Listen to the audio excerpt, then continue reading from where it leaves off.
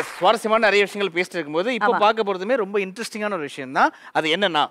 குட்டி தலைவர்கள் வந்து இங்க வர போறாங்க சார் இந்த குட்டி தலைவர்களை நம்ம பார்க்கலாம். உங்ககிட்ட என்ன பேச போறாங்க அப்படிங்கறதையும் தெரிஞ்சுக்கலாம்.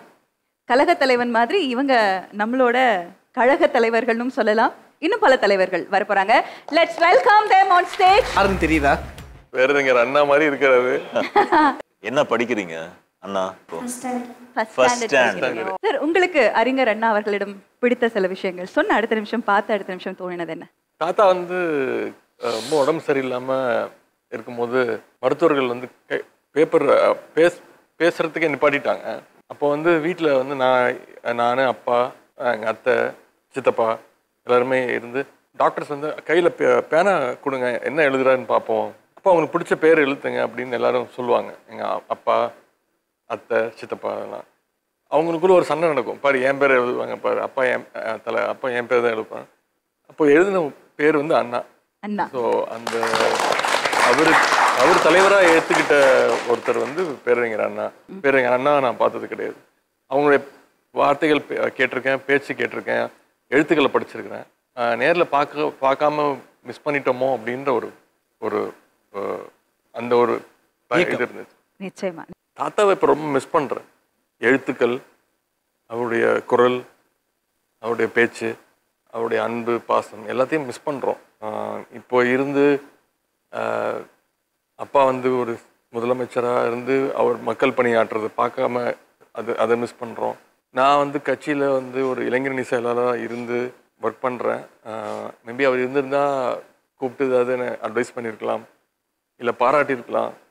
இல்லை திட்டியிருக்கலாம். திட்டு வாங்கியிருக்கீங்களா? திட்டினதெல்லாம் கிடையாது.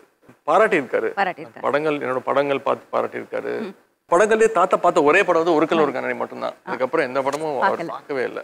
உடல்நிலை சரியில்லாதனால எனக்கு மனிதன் படம் போட்டு காட்டணும் அவருக்குன்னு ரொம்ப ஆசை இருந்துச்சு. அது கடைசி வரைக்கும் நடக்கல.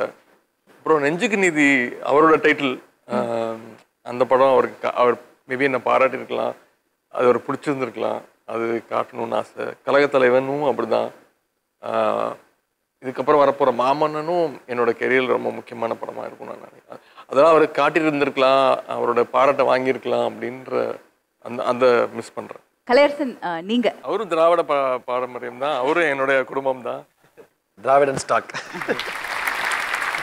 ஐ வாட்ச் போட்டிருக்காரு பெரியர். பெரியாரு? பெரியார் ஐ வாட்ச் போட்டிருக்காரு. டிஜிட்டல் வாட்ச் போட்டிருக்காரு. ஆப்பிள் வாட்சா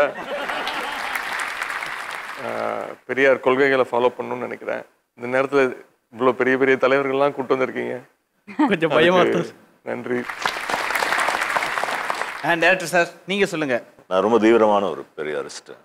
இவங்க மூணு பேரும் சேர்ந்தது தான் இன்றைய மாடர்ன் தமிழ்நாடு. சூப்பர் அவங்க வகுத்து வச்ச தமிழ்நாட்டில் தான் நம்ம வாழ்ந்துட்டு இருக்கோம். அண்ட் இனியும் அவங்களுடைய லெகசி என்பது காலகாலத்துக்கும் தொடரும். காந்தியை நீங்கள் இதில் இணைச்சிக்கிட்டது எனக்கு ரொம்ப மகிழ்ச்சியான ஒரு விஷயம். ஏன்னா இந்தியா என்கிற நாடு இதற்கான அடித்தளம் இதற்கான ஆன்மாவை சரியாக உணர்ந்தவர் காந்தி அப்படின்னு நான் நினைக்கிறேன். இந்த படத்துல கலையோட பேரே கேரக்டர் பேரு காந்தி. ஓ. சார் நீங்க சொல்லுங்க. கலையனாக்கு வந்து காந்தி அப்படிங்கிற பேரை எதுக்கு வச்சீங்க?